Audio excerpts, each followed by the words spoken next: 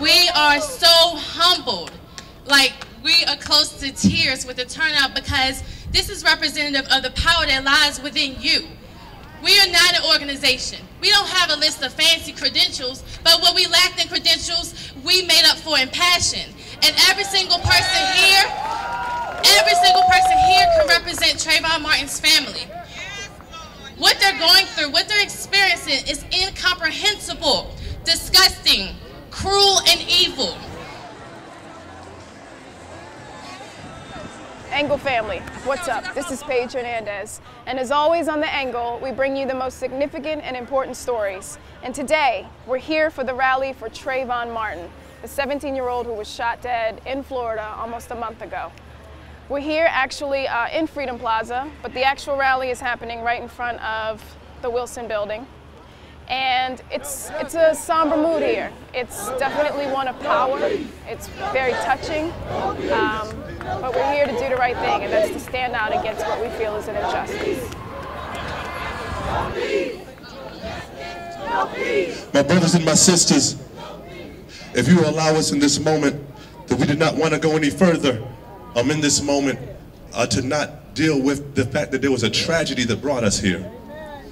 It was a tragedy that brought us here, and we could deal with tragedy if justice had been served. It would have still been a tragedy, it would have still been a hard story. But at the end of the day, we know that sick people do sick things. But the problem we're facing right now is not just sick people doing sick things, but a sick system that will not allow justice to be heard.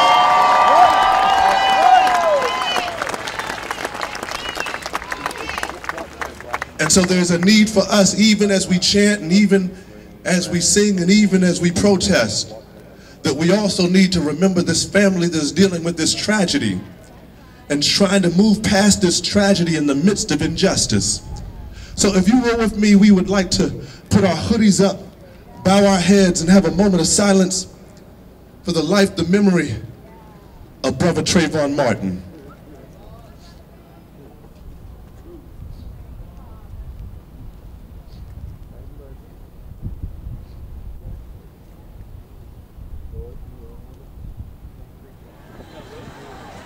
Because, sisters and brothers, one thing that we know folks don't believe that you're hurting until you say ouch. Folks don't believe that you can win anything or you have any dignity until you're ready to stand up. We're standing up today because we are all Trayvon Martins. We're standing up today because one thing that is true is that racism has been pervasive in this country since the first folks set their foot on Plymouth Rock. And it has been maturing and moving ever since. When, when, when we elected President Obama, all the pundits on TV said, oh, now we're in a post-racial era. Well, a post-racial era where you don't have to have a Klan robe, but you can be Rush Limbaugh on the radio, or you can be Glenn Beck. There you go. You see, you see, what has happened is that racism has become so insidious, and when you mix guns with race and racism, you're bound to have a disaster happen.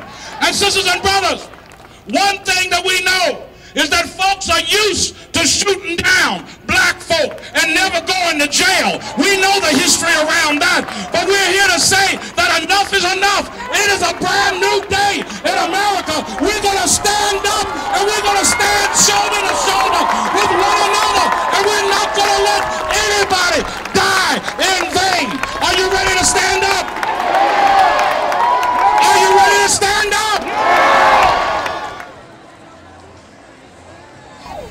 Who will cry for the little boy walking home from the store? Who will cry for the little boy with potential galore? Who will cry for the little boy armed with Skittles and tea? Who will cry for the little boy harmless as can be? Who will cry for the little boy 140 pounds? Who will cry for the little boy on gated community grounds? Who will cry for the little boy? What makes him seem so suspicious? Who will cry for the little boy gunned down by a man so vicious. So we've come to the end of the rally here for Trayvon Martin. Um, it's been a fascinating rally, one of camaraderie, one of community. We heard some great speeches, some awesome spoken word, different poems, uh, different points of view from different people in the family.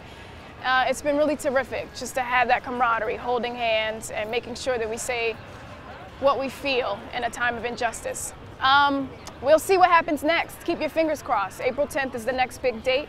I say you check back into the angle to see what you can do. You can also sign petitions and check it out online. Either way, we're here to make sure that justice will be served. Stay tuned to the angle.